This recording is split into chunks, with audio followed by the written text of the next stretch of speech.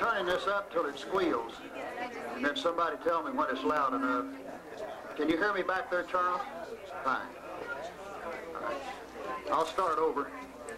What a great honor it is for you to come out today to be here as the Texas Historical Commission unveils a marker for the Killeen Herald, which is the oldest continuous business in Killeen and which uh, is now celebrating its 100th anniversary. Perhaps many of you have had an opportunity to read the special edition that we published this morning. If not, I certainly hope you'll take the time to do that, and it tells probably as much about us as you'd care to know, but there's even more than that, by the way. We, we kept bringing things out of the vault till the wee hours the other night. Uh, I'd like to just give a brief history of the Herald, if I can, uh, for those of you who may not be familiar with it. Uh, all this started on, in June of 1890. And the reason that we're celebrating it in uh, September is because on September the 27th of 1890, the Killeen Herald became an official newspaper recognized by the United States Post Office by the uh, award of a second-class mailing permit, and we have that permit. It's framed and on the counter in here if you'd like to see that piece of, of Herald history. The first thing we'd like to do is to honor our flag and our country.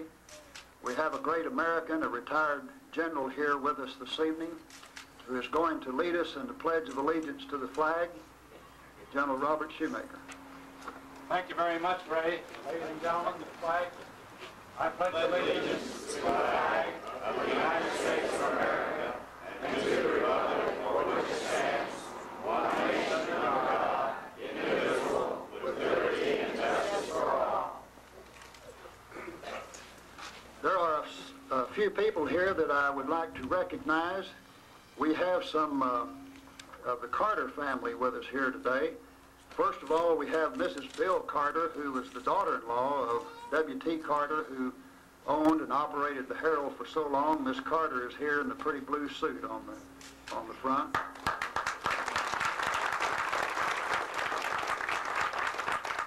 With her are three granddaughters of uh, Mr. Carter, Mrs. Lila Smedley of Waco, here in the uh, lilac outfit, Mrs. Ann Hersher in green, and uh, Mrs. Mary Carter Irwin from Killeen.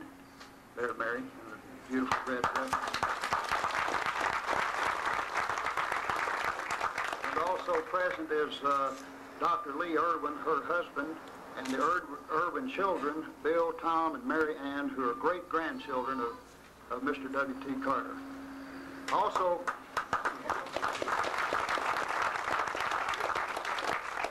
also I'd like uh, to recognize the presence of Mrs. Sue Mayborn, Mrs. Frank Mayborn, who is here today and who will actually unveil the marker in just a moment. So.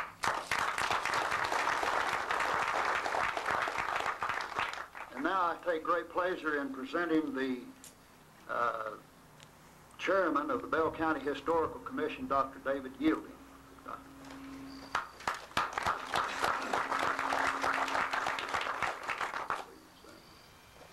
Thank you, Mr. Townsend. Ms. Mayborn, distinguished guests, ladies and gentlemen, the Bell County Historical Commission is pleased to be here today and, and helping unveil the marker that we will uh, unveil uh, very soon for the Killeen Daily Herald. I would first of all like to recognize those members of the Bell County Historical Commission who are here.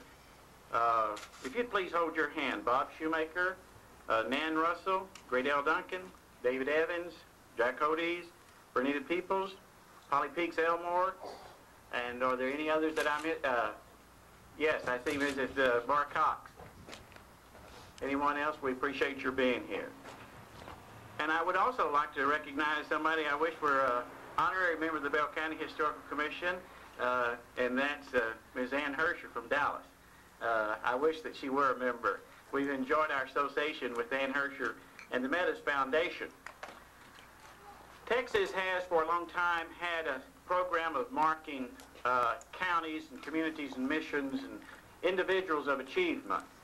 The current marker program that the state of Texas has actually began in 1936 in the centennial.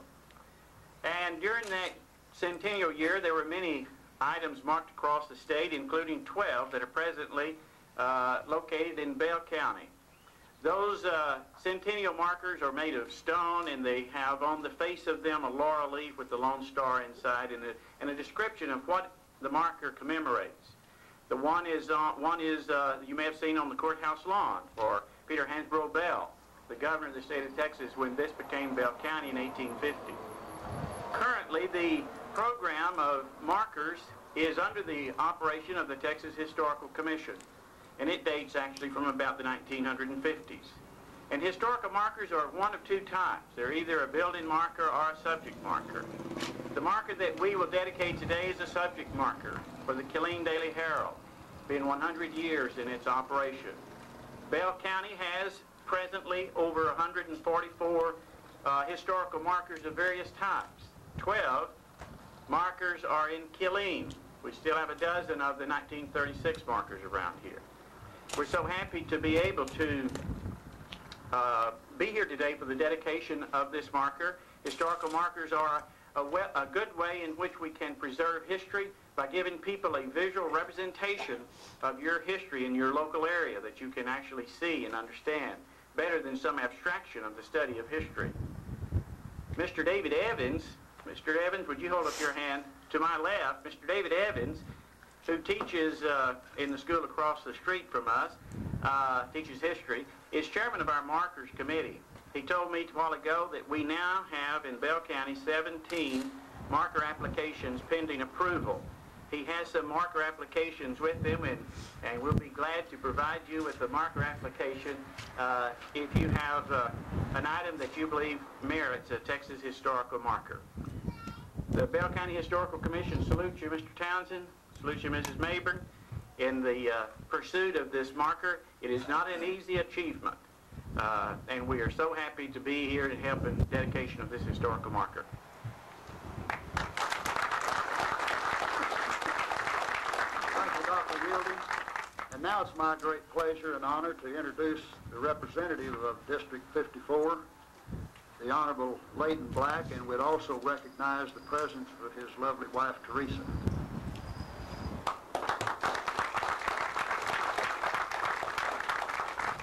Thank you, Ray. Good afternoon, ladies and gentlemen. I want to tell you it's an extreme pleasure for me to be able to come down to Killeen, which is in my district, and to be a part of this very moment in history. As we stand here on this place and as we reflect back and we remember all of those things concerning this great newspaper, concerning this great land in Texas that brought us to this very moment. In the Bible, it mentions in the Old Testament removing, removing markers, removing the markers of the land. And it gives specific instructions not to remove those markers. And I thought about that today as we stand and pay tribute to this great business, to all of those people who have dealt with the newspaper business and this particular newspaper that brings it to this day. And I thought about the marker of freedom and the marker of free speech. And particular, at this particular time in history when we have young men and women in foreign souls in this very serious hour as it deals with this community. And here's a newspaper who has withstood the test of time by dealing with markers of truth and of free speech.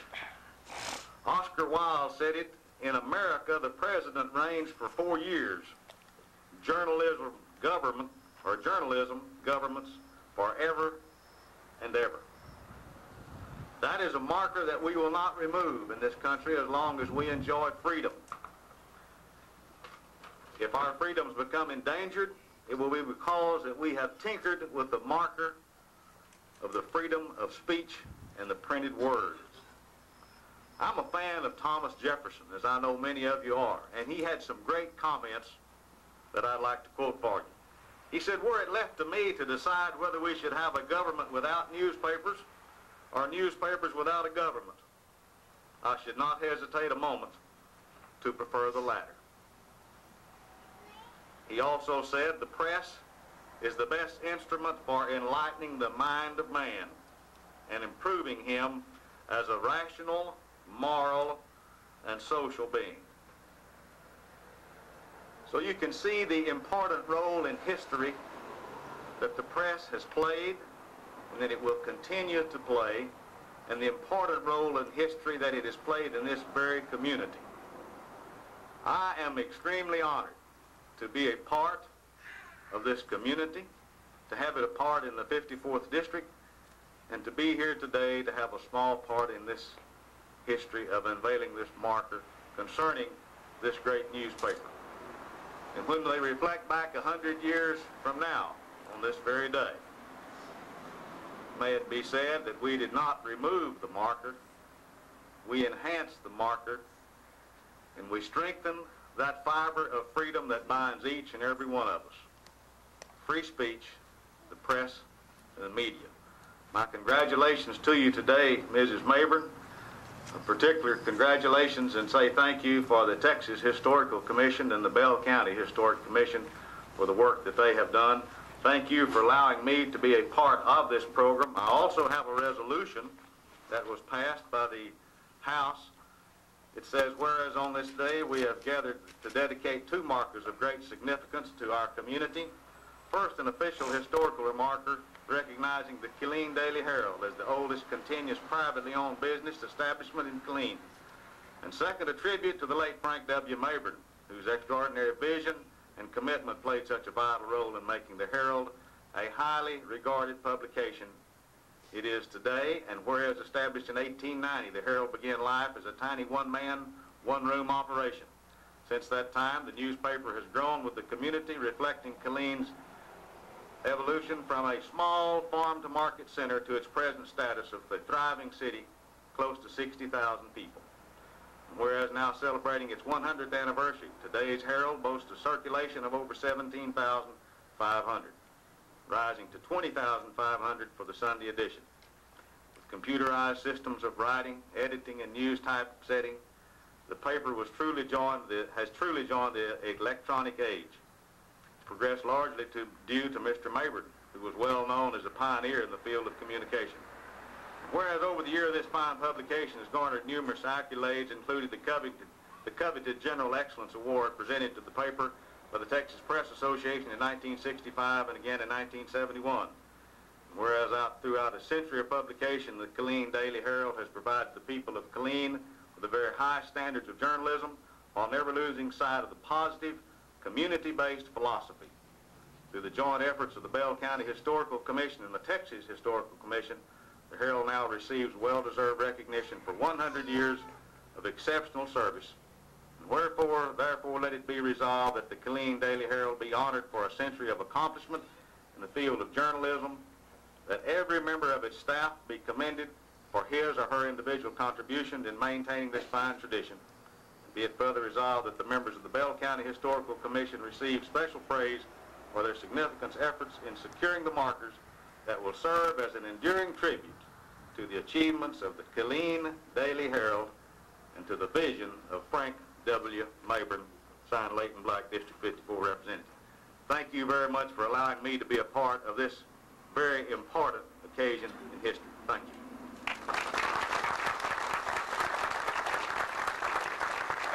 We're also very honored to have the Honorable Senator Temple Dickson with us, our representative in the Senate, and he has a few words to say.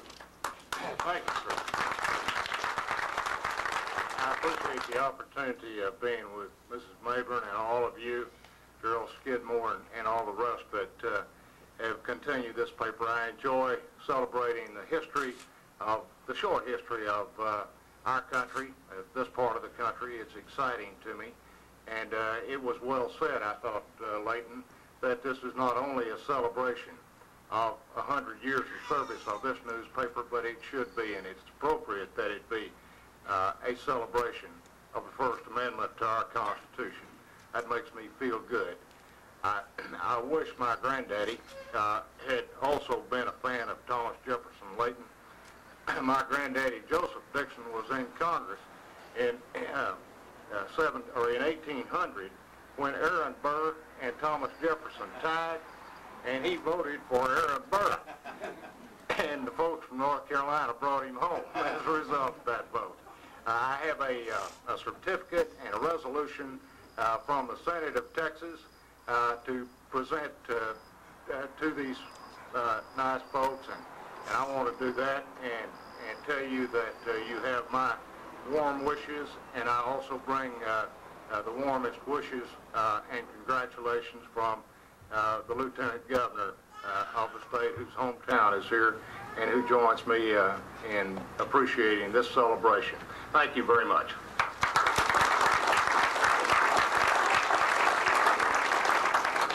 We have His Honor the Mayor of Copperas Cove who would like to say a word at this time. Jim Smith.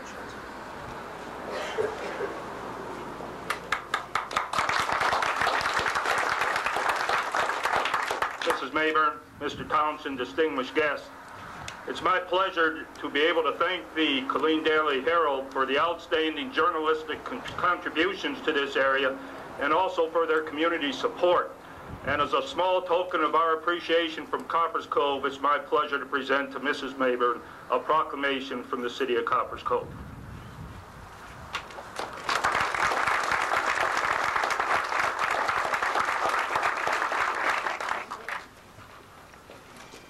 Thank you very much. At this time, we would like, uh, if she would, for Mrs. Mayborn to come to the marker. And uh, as she is unveiling the top portion of this, excuse me, I'll uh, read the inscription. It says, Killeen Herald. W.E. Bennett began publishing the Killeen Herald in June 1890, eight years after the town of Killeen was founded. Later owners of the newspaper included W.T. Carter, an active civic leader who served as publisher and editor from 1907 to 1950. Begun as a weekly publication, the Herald has been a daily paper since 1953. From the earliest days of Killeen, the Herald has grown with the town and has chronicled the area's dynamic progress. It is now the oldest privately owned and continuously operated business enterprise in the city of Killeen, dedicated in 1990. Underneath the main historical marker is a supplementary plaque, which she will now uncover. And this is dedicated to Frank W. Mayborn, 1903 to 1987, a Central Texas communications pioneer who converted the Herald from a weekly to a successful daily in 1953. Thank you very much.